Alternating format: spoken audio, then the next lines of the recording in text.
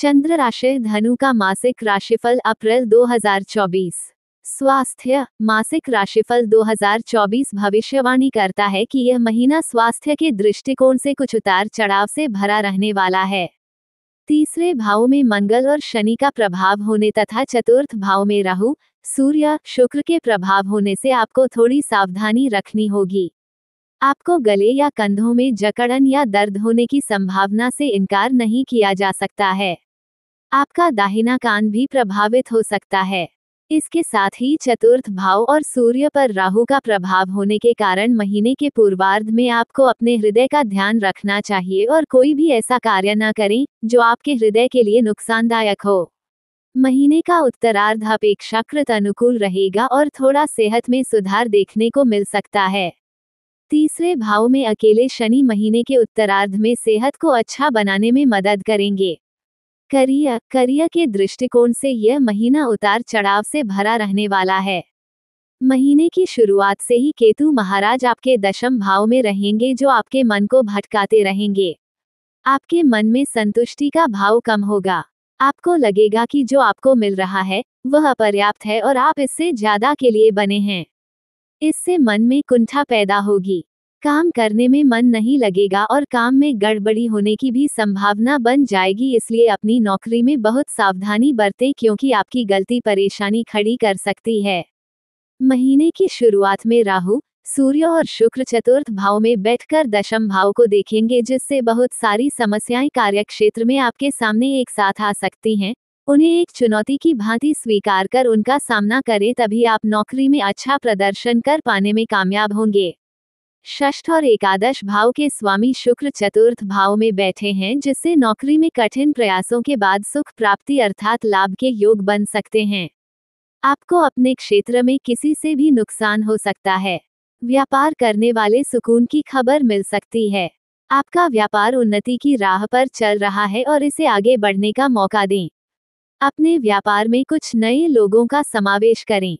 इसका मतलब यह है कि कुछ नए लोगों के साथ संपर्क स्थापित करें जो आपके व्यापार को आगे बढ़ाने में मदद करेंगे। ऐसा करने से आपका व्यापार और अधिक विस्तार पाएगा और आपको उन्नति प्रदान करेगा। प्रेम विवाह व्यक्तिगत संबंध। यदि आप किसी प्रेम संबंध में हैं तो आपके लिए महीने का पूर्वार्ध बहुत अनुकूल रहेगा। बृहस्पति और बुध के प्रभाव से आप अपने प्रेम जीवन का भरपूर लुत्फ लेंगे। आप और आपके परिजनों के बीच की नजदीकियाँ बढ़ेंगी। आप एक दूसरे से ज्ञान, धर्म की ही नहीं करेंगे, बल्कि किसी तीर्थ स्थल पर घूमने भी जा सकते हैं। आपसी बातों को, विचारों को साझा करने से आप एक दूसरे के और निकट आएँगे और एक दूसरे को और बेहतर तरीके से समझ पाएँगे। हालाँकि महीने के उत्तरार्ध में सूर्य अपनी उच्च राशि में मेष में 13 अप्रैल को प्रवेश करेंगे, जो कि आपका पंचम भाव होगा और उससे पहले ही बुध चतुर्थ भाव में वापस लौट जाएँगे। तो बृहस्पति और सूर्य के प्रभाव से आपके प्रियतम को कोई बड़ा पद मिल सकता है। यदि वो किसी नौकरी की तैयारी कर रहे हैं तो इस दौरान उन्हें सरकारी नौकरी की प्राप्ति हो सकती है, जिससे आपको उन पर गर्व होगा और आपका रिश्ता और भी बेहतर हो जाएगा। यदि विवाहित जातकों की बात करें तो सप्तम भाव के स्वामी बुद्ध महाराज वक्री अवस्था में पंचम भाव में रहेंगे जिससे आप और आपके जीवन साथी के बीच प्रेम शब्दों में झलकेगा। एक दूसरे से प्यार भरी और समझदारी भरी बातें करेंगे, एक दूसरे का मार्गदर्शन करेंगे, अच्छे पति पत्नी के रूप में अपने जीवन को सुचारू रूप से व्यतीत करेंगे। उसके बाद 9 अप्रैल को बुध वक्री अवस्था में चतुर्थ भाव में लौट जाएँगे और 13 तारीख को पंचम भाव में आएँगे और मंगल 23 तारीख को वक्री बुध महाराज के साथ चतुर्थ भाव में रहेंगे। इस दौरान वैवाहिक जीवन में तनाव और टकराव की स्थिति बन सकती है। आप और आपके जीवन साथी के बीच ग्रह क्लेश हो सकता है क्योंकि मंगल का चतुर्थ प्रभाव और बुध के साथ युति संबंध अनुकूल नहीं रहेगा। जुबानी जंग हो सकती है। अहम का टकराव हो सकता है। इससे बचने के लिए वाद विवाद को बढ़ने से पहले ही रोक लें और थोड़ा शांत हो जाएँ। परिवार के सदस्यों को अपने वैवाहिक जीवन में ज़्यादा हस्तक्षेप करने से रोकेंगे तो मामला सुलझ सकता है। सलाह, आपको एक अच्छी सी गुणवत्ता वाला पीला पुखराज रत्न गुरुवार के दिन सोने की मुद्रिका में जड़वा कर अपनी तर्जनी अंगुली में धारण करना चाहिए। राहु के दुष्प्रभाव को दूर करने के लिए बुधवार के दिन किसी उद्यान में नागकेसर का पौधा लगाएँ। प्रतिदिन अपने मस्तक पर हल्दी अथवा पीले चंदन का या केसर का तिलक लगाएँ। गुरुवार के दिन पीपल का वृक्ष रोपें और उसे बिना छुए जल देकर सिंचित करें सामान्य मासिक राशिफल 2024 के अनुसार यह महीना धनु राशि का जातकों के लिए मिले जुले परिणाम देने वाला रहेगा, लेकिन कुछ मामलों में आपको थोड़ी सावधानी बरतनी अपेक्षित होगी। कार्य क्षेत्र में उतार चढ़ाव की स्थितियाँ रहेंगी, लेकिन व्यापार अनुकूल स्थितियों में आगे बढ़ेगा और आपको मुस्कुराने का मौका देगा।